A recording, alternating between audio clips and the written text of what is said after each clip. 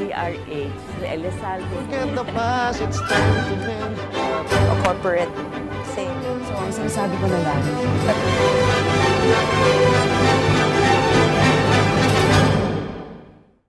Isang mapayapang hapon Pilipinas. Narito ang inyong balerina ng bayan, si Lisa Makuha, na bumabati sa lahat ng nakikinig sa atin sa DZRH at sa lahat ng nanonood ng RHTV.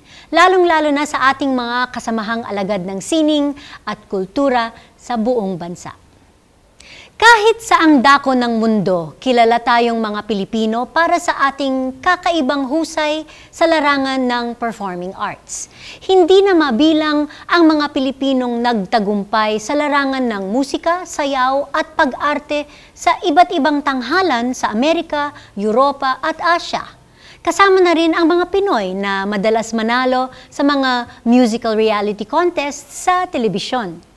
Talagang bahagi na ng buhay Pilipino ang pagtatanghal, subalit nakakalungkot isipin na hanggang sa ngayon, hindi pa rin talaga natin nakikita ang malawakang pagsuporta ng ating mga kababayan sa live theater performances kumpara sa dami ng mga taong nakikipagsiksikan sa panonood ng pelikula o sa milyong-milyong nanonood ng mga drama o musical shows sa telebisyon. Ano kaya ang mainam na solusyon sa problemang ito? Sa hapong ito, kikilalanin natin ang kauna-unahan and so far, ang nag-iisang organisasyon ng mga professional performing arts companies sa ating bansa, ang Philippine Legitimate Stage Artists Group o PhilStage. Kasama ang kasalukuyang pangulo nito na si Ginoong Odi Hemora. Ang Philippine Legitimate Stage Artists Group o PhilStage ay itinatag noong 1997 bilang nag-iisang organisasyon ng professional performing arts companies sa ating bansa. Sa kasalukuyan, ang mga miyembro nito ay ang Ballet Manila, Ballet Philippines, Gantimpala Theater Foundation, Organisasyon ng Pilipinong Mga Awit, Philippine Educational Theater Association, Repertory Philippines, Tanghalang Pilipino, Trumpets, Actors Actors Inc., Nine Works Theatrical, Philippine Opera Company, Full House Theater Company at ang Red Turnip Theater. Taong 2008 nang ilunsad ng PhilStage ang Gawad Buhay Awards na kinikilala bilang kauna-unahang Performing Arts Industry Awards sa Pilipinas. Ang hurado para sa Gawad Buhay ay binubuo ng isang independent panel ng mga kritiko, scholars, artista at theater enthusiasts na kinakailangang panoorin ang lahat ng mga produksyon ng mga miyembro ng PhilStage sa loob ng isang taon. Layunin ng Gawad Buhay na parangalan ang pinakamahusay na individual at group performances ng mga member companies nito. Ito ay upang mas lalo nating maintindihan ang mga layunin at gawain ng PhilStage. Isang mainit na pagbati ang hatid ng art to art sa kinatawan ng PhilStage na si Ginoong Odi Hemora. Kasama po natin ang Pangulo ng PhilStage, ang batikang aktor at direktor na si Odi Hemora. Odi, welcome back to Art to Art. Salamat sa pag-imbita. It's been a while, siguro limang taon na, mahigit. Oo, I think nung nag-guest ka dito, um, you were talking about trumpets. Oo, tsaka radyo pa lang At noon. radyo pa lang noon, hindi pa tayo... nag-level up na. Na level up. Teleradyo na tayo ngayon. Ayun. okay, let's let's actually start by giving our audience a detailed description and background on PhilStage. Well, ang Phil stage ay, uh, that was put up siguro noong mga 1997. Mm-hmm. Naalala ko pa noon kasi ako pang mas bata-bata sa grupo na yun eh. It was headed by Sinaida Amador at saka si Celeste Legaspi. Um, parang dati kasi sa history ng Philippine theater, baka hindi nakakaalam ang mga manonood. Uh, medyo very, ang tinatawag na parang very uh, territorial ang mga theater companies at dance companies noon eh. For, uh, for example, kung ako katulad ko nasa Repertory Philippines, never never mo makikita isang taga-repertory na magko-crossover sa PETA. Ang PETA naman, di mo naman makikitang mga, mga ka-artista nila ay aate sa UP, uh, rep, mga ganon. So parang kanya-kanya talaga. So, noong mga 1997, nagkaroon ng parang, there was this parang writer from Australia. And she wanted to cover, you know, uh, what live entertainment was here. uh, legitimate stage performers were all about here sa Philippines. So we were all invited to a meeting in Polo Club. And then, naalala ko pa, nandun kami sa isang malaking lamesa. And then, you would think all of these very rabid competitors, no?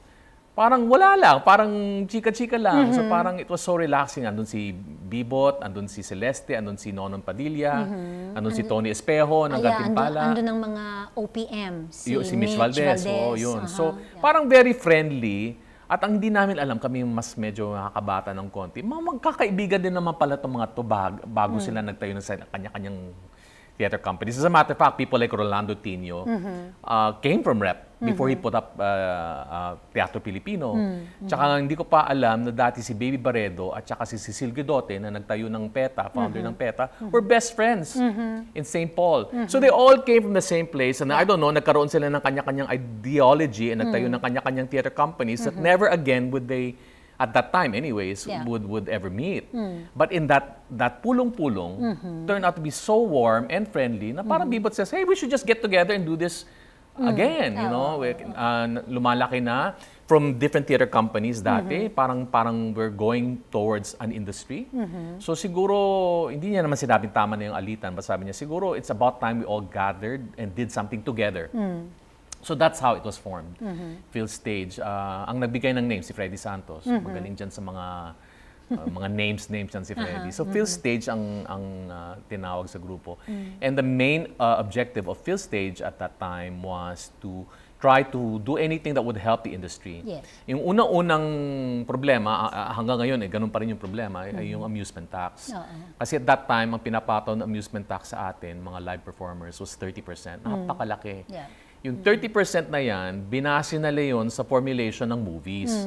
Eh, ibang-iba ang pelikula. Sa pelikula, may ilang tri- ah, prints ng movie house, ah, ng, ng movie. Tapos, ilang movie house pwede mong i, ano, i, i-feature yung movie na yon.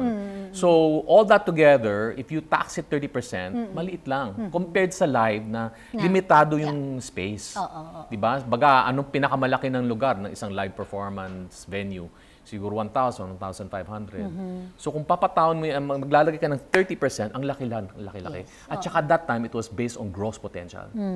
So binago na yon. There's a lot of changes, but we had to fight it. That I think yun first. talaga yung ah, kalaban ng Phil Stage at that Yes, time was at that, that amusement time. tax. Tapos, soon after that, nagkaroon si Joe De Venecia ng parang another uh, panukala. Ang gagawin niya sana, at least balak pa lang nun, is that they were going to tax naman or take out the... um, lahat ng companies kasi pwede mag-write off ng advertising budget. Pag nag-sponsor sila ng, let's say, basketball games, basketball teams, uh, mga mga shows.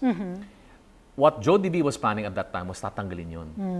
So, again, tinatax ka for your tickets, tapos ngayon, wala pang sponsorship. Patay Yes, tayo. oo, So, we, yun pa ang next naming kinalaban. And we met with uh, Joe DB and he was so gracious. Nakinig siya sa amin. And then, not only did he, did he withdraw that, um, that um, law, he actually gave us 25 million to do uh, performances. At ang ginawa namin ay, that was the uh, Buhay. Buhay. Yes, yung Kasi Buhay na 1999 festival. yun, so Oo. centennial natin. Yeah. mhm. So to celebrate the centennial, Freddie Santos came up with this brilliant idea na gumawa ng 100 performances live. So tinawag niyang Buhay. And it was done at the Shangri-La Plaza Mall. And if you remember, all the groups were there. Naalala ko, nagka-parade pa tayo nun. Di ba? eh. Saya. Oo, saya. oo. Yeah, so that money went a long way to to help us, no. But uh, after that parang naglaylo ng konti ang Phil Stage. Um, ako at one point I left trumpet so hindi na rin ako naging member ng Phil Stage for a while. And alam ko while I was absent,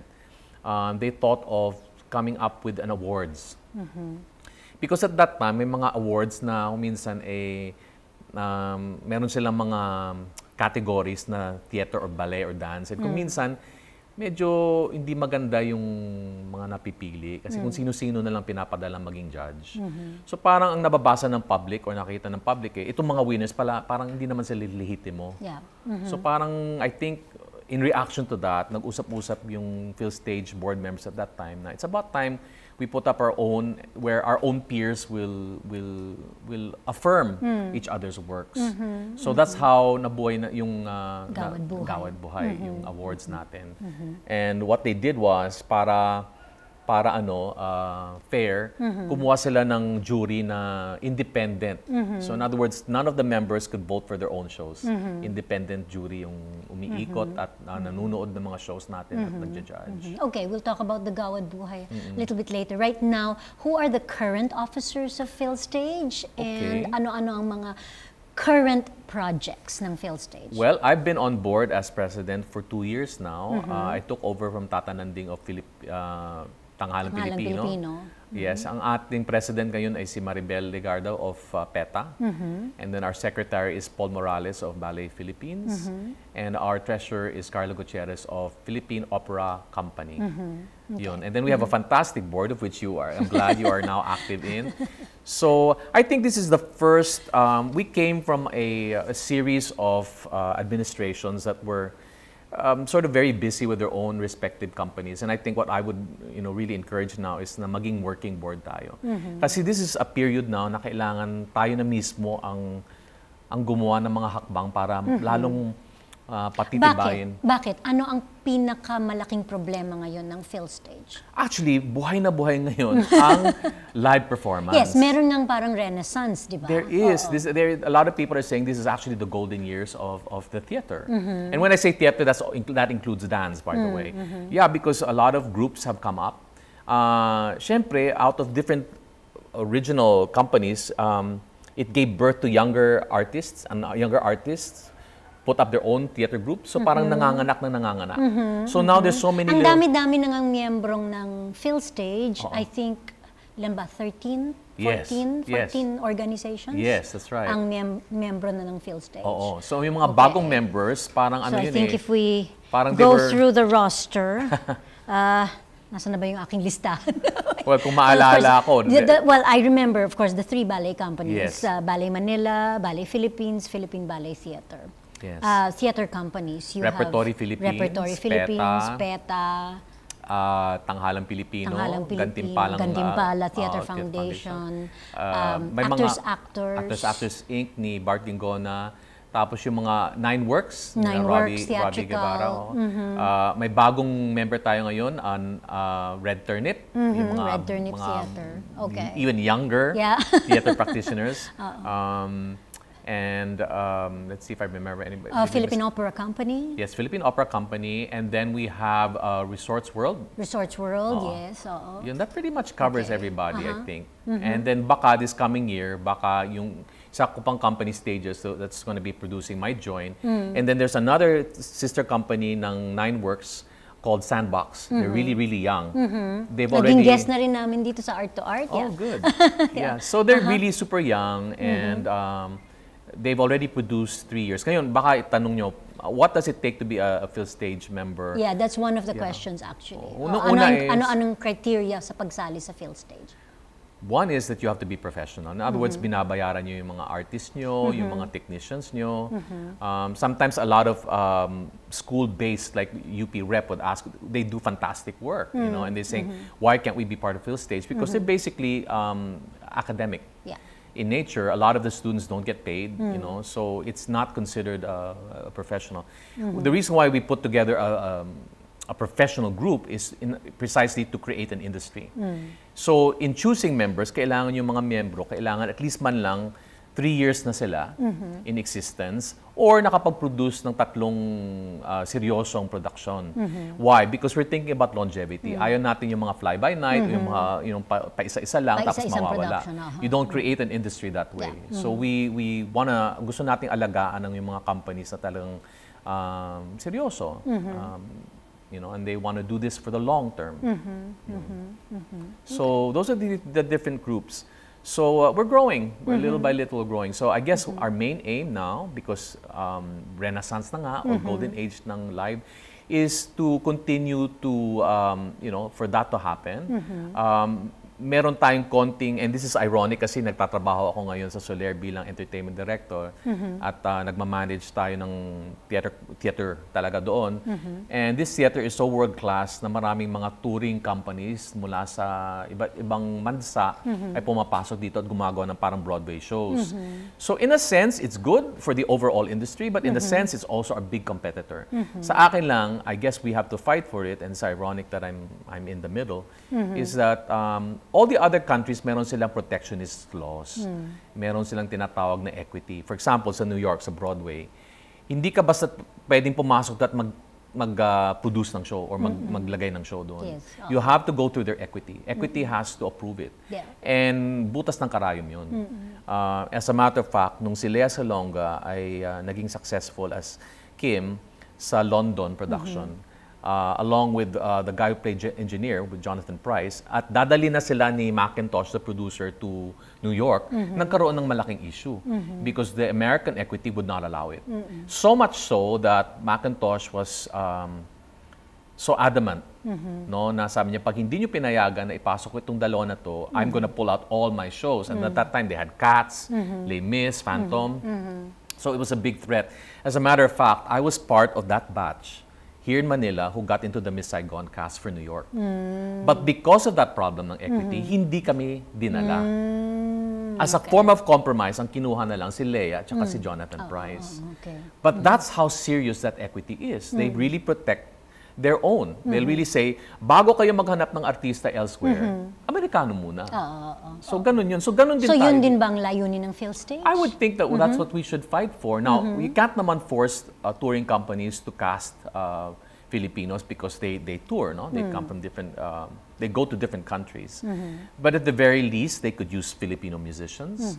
They could put in a couple of, uh, of Filipino performers. Like Les Mis is coming to Soler in March, and we really asked the producers, can they do what they could to get Le- uh, Rachel Ann Go to play uh, Fantine, Fantine. because she's playing it in London now. And they did their homework and were able to negotiate for that. So at least kahit papano merong Filipino. But more than that, sana um, mapabatas na natin yung ang um, equity law wherein uh, magbabayad sila. If they bring in a group, kasi nadi-displace tayo eh. So, ang mangyayari dyan, dapat magbayad sila ng some amount so that this amount can go now to our artists. You know? Which I think yun din ang naging parang layunin ng at pinaglalaban ng OPM Yes. before. Oo. And they have been successful at it. Aha. They any foreign un- until now it's uh, pinapatupad pa rin to ng Department of uh, I, I believe uh, Foreign Affairs I think or Immigration no Immigration Department of Immigration. Immigration, yeah. This was a, um, uh, a memor- memorandum of agreement I think that was uh, together by Miriam Santiago when she was still there. And until this very day, it is being honored. So every time merong foreign con- concert artist na dumarating, nagbabayad sila ng equity. Yes. And for many years, that money was able to run OPM and also pag may mga may sakit or mga kailangan ng benefits, um, a lot of singers were able to get from that fund. Yeah. So nakatulong kahit papano. So we want the same thing. I mean, dancers should be, every time there are dancers who come here and displace you, your dancer should be getting some kind of compensation. Um, the same thing with our our um, our actors. Yun. Okay, okay. Marami pa po tayong pag-uusapan kasama ang Pangulo ng PhilStage na si Odi Hemora. Dito pa rin sa Art to Art, magbabalik po kami pagkatapos ng ilang paalala.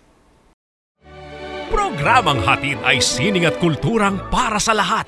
Magbabalik ang Art to Art. Schedule ng mga inaabangang konsyerto. Update sa mga magagandang panoorin sa mga tanghalan at teatro. Narito na ang Art to Art Calendar. Narito ang ating arts calendar. Sa musika, magtatanghal ng isang concert ang French classical guitarist na si Judicael Peroy sa November 12 alas 7 ng gabi sa Abelardo Hall Auditorium ng UP College of Music, UP Diliman, Quezon City. Ang palabas ay pinamagatang From Back to Villalobos. Si Peroy ay isang premyadong classical guitarist na nagwagi ng first prize sa prestigyosong Guitar Foundation of America International Competition noong 1997 na nagdala rin sa kanya sa isang tour ng Amerika at Canada na binuo ng anim na pong concerts at masterclasses. Kasalukuyan siyang naninirahan sa Paris kung saan siya nagtuturo. Para sa ticket, tumawag sa Ticket World 891-9999. Sa sayaw, inihahandog ng Daloy Dance Company sa pakikipagtulungan ng PETA Theater Center ang mga sayaw ng paghilom. Isang twin bill fundraising show sa November 19 at November 20, alas 8 ng gabi, 3rd floor, Studio A and B ng PETA Theater Center, number 5, Amar Drive, New Manila, Quezon City. Tampok sa palabas ang mga piyesang pinamagatang Pieces of Me at Unearthing. Ang Daloy ay isang grupong binuo noong nakaraang taon na naglalayong gumawa ng mga obrang makapagpapalawak sa ugnayang pangtao at nagsasabuhay sa lakas ng live physical performance. Sa sining biswal, kasalukuyang itinatanghal ang Filling Up the Big Room exhibit ni Pam Yan Santos sa Art Informal No. 277 Connecticut Street, Green Hills East, Mandaluyong City. Binubuo ito ng mga paintings at installation na nagbabalik tanaw sa kabataan ni Yan Santos at sa bahay ng kanyang kinalakihan. Makikita ang exhibit hanggang November 21. Usapang sining at kultura para sa lahat. Kasama ang balerina ng bayan, si Lisa Makuha. Art to Art.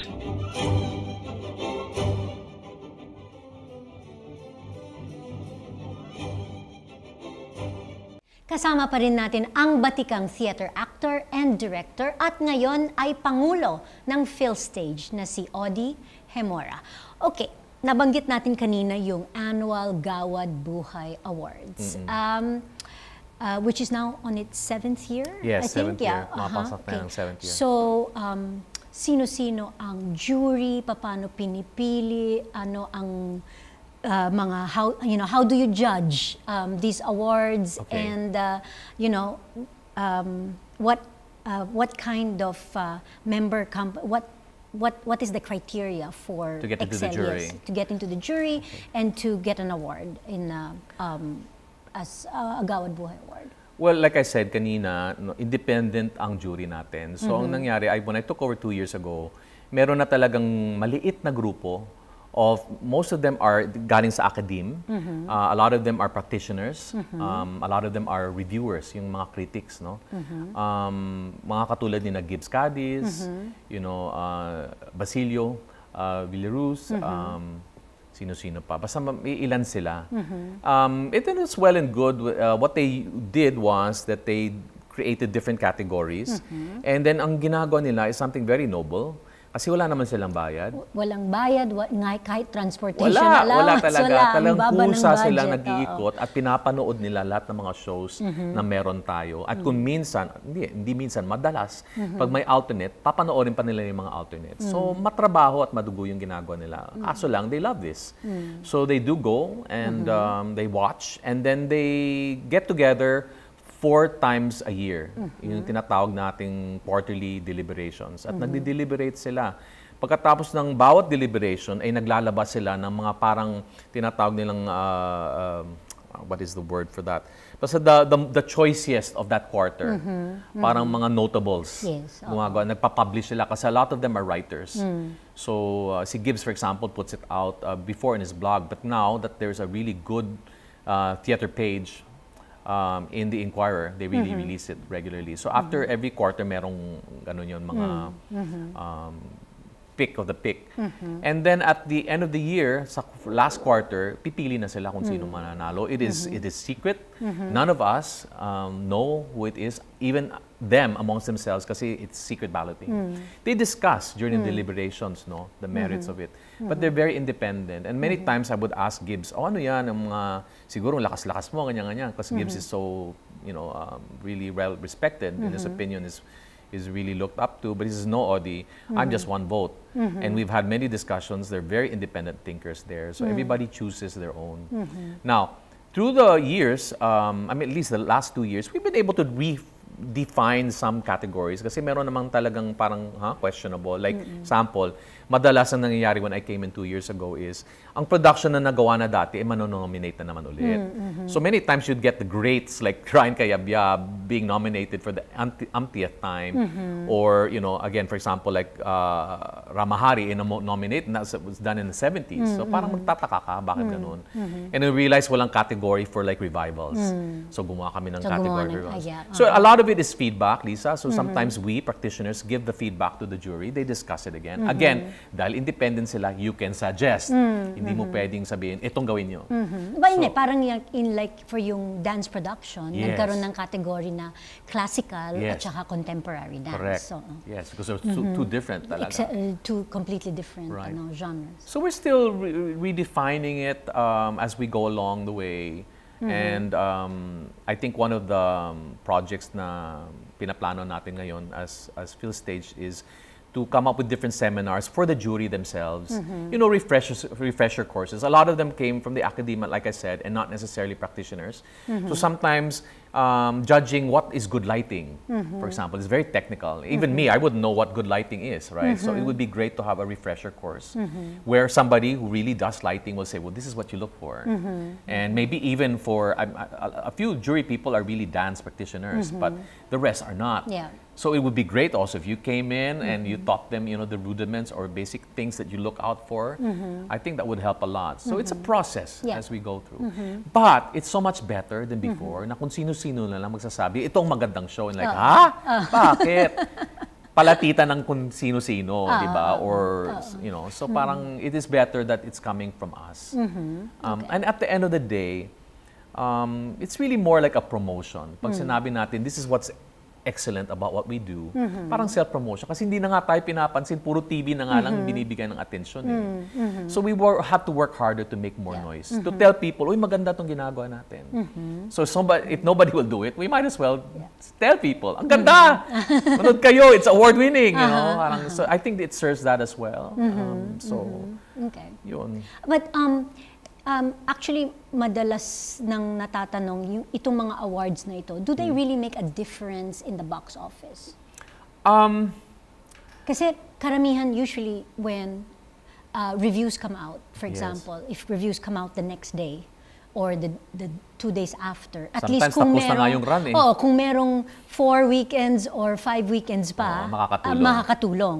Pero kung ang isang live production ay one weekend lang, Yes. paano, paano nakakatulong ito sa I box think office? the award in itself is not gonna. I mean, it, it's a validation of sorts, right? I mean, when somebody wins Best Actor, mapupuna siya ng halos lahat ng mga theater companies or even the peers. Yeah. Kasi kahit papaano, ano mo yun eh, bragging right mo na yun eh, di ba? So, yes, nakakatulong siya in that way. It Yeah. gives you um, some kind of, of grade, I suppose, you know, when you win an award and um, and you're consistent. I don't think it really helps in terms of, kasi yung nga sabi ni, I've been inviting Bobby Garcia of, of um, Atlantis for the longest time, and he exactly told me that. Sabi ni Odi, what benefit will I get out of it kung tapos ng shows ko at mananalo ako ng award?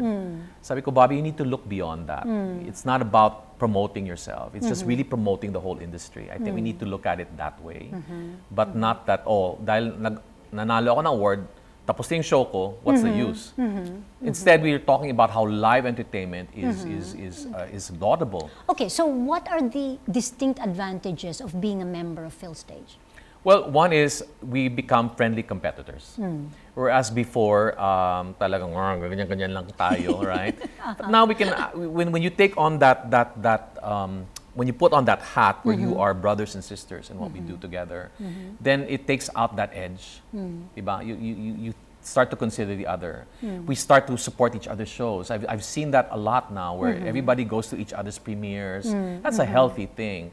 Also, Lisa, sa dati-rati kasi, sa mga panahon ni Nabibot, talagang bukod-bukod pa yung mga groups. But now, wala ka na masasabi na trumpets actor, repertory actor. Wala nga, in fact, I think nangyayari na yung may isang actor o isang actress na nominate for an award Oo. um, in different roles for Yes. different companies, Yes. pero it's still the same the one and the same actor or actress, Yes, di ba? that's Uh-huh. healthy. Yeah, Para na tayong industry, Pero hindi ba siya parang conflict of interest? No, it's Mm-hmm. an industry. That's how it is on Broadway. Mm. Broadway is not run by theater companies. It's Mm-hmm. run by producers.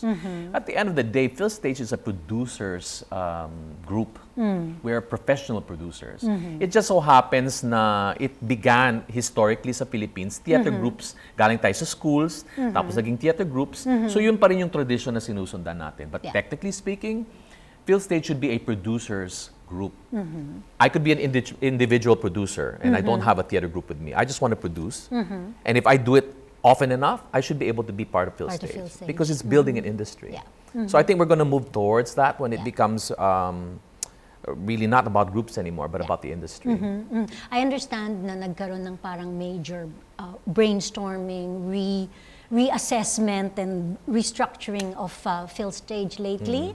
I was there in the first hour of the meeting. Um, so, ano ngayon ang parang mission and vision of Phil Stage, and how is that going to translate into projects that will uh, that preparing us for, say, the 20th anniversary coming up in 2017? Wow, 20th anniversary. Can you believe that?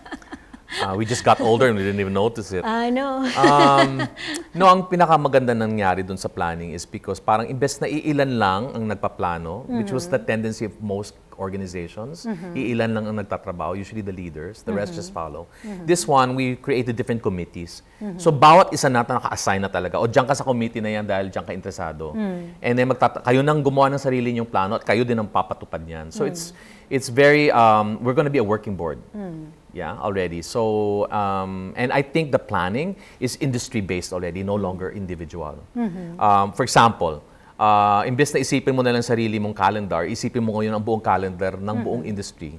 So, we, there's talks like we create a, a common calendar, Yes, we oo. promote in each other's shows, we put each other's shows in our own programs. Yeah. We'll be present there. Yes. There's a stamp of Phil Stage everywhere. So parang ganon, we become a stronger body. Yeah. And when we become a stronger lobbying body, we can affect laws. You know, we can get lawyer, I mean, uh, politicians to side with us. That's another thing that we need to fight for. Wala tayong, ang Philippines, wala tayong sarili nating Ministry of Arts and Culture. All we have is the NCCA. I'm not dissing it, but it changes every administration. Iba na naman ang umuupo dyan. So walang long-term... Walang long-term goals, goals. and long-term vision. Yeah, we should fight for that. We should yeah. fight for laws that will help uh, culture and arts. Okay. And before we uh, uh, wrap this up, Audie, um, we're talking about the, you you just opened um, Yes. horse, Hor- the horse and his boy. the horse and his boy. Yes, sa Uh, trumpets last, naman to. Last Friday, no? Oo. Um, it's a based on another C.S. Lewis book. If you're familiar with the Narnia series, The Lion, the Witch, and the Wardrobe, we did into a musical years back. Mm-hmm. Now this is our second offering. It's an epic adventure. It's about a talking horse, about a kid who rides his talking horse and he goes into this wild adventure. Mm-hmm. And we create all these um, theatrical devices, shadow play and puppets and all of that. So it's very, very interesting. Mm-hmm. Fantastic. And it's on in the Meralco Theater. Yes, it's on at the Meralco Theater. Come see us, and you Mm-hmm. can get your tickets at Ticket World. Yes, yes. Since nag-plug na rin si Odi, magpa-plug na rin ako. Ballet Manila is opening on November 27, 28, and 29 with Pinocchio. Wow. Uh, you can also get your tickets at Ticket World. It's great. maraming maraming salamat sa pagdala mo Thank dito, you, Odi. Lisa, for And, al- uh, for sana always hindi- inviting me. Yes, sana hindi ka magsasawa. Ah. Okay? um, and of course, thank you for generously offering your time and energy to lead Phil Stage. we love this industry and we'll fight for it. More power, Thank more you. power. Hanggang sa susunod na linggo, samahan ninyo kami ulit dito sa Art to Art, kung saan ang usapang sining at kultura ay para sa lahat. Ito po ang inyong balerina ng bayan, Lisa Makuha, nagpupugay sa artistang Pilipino.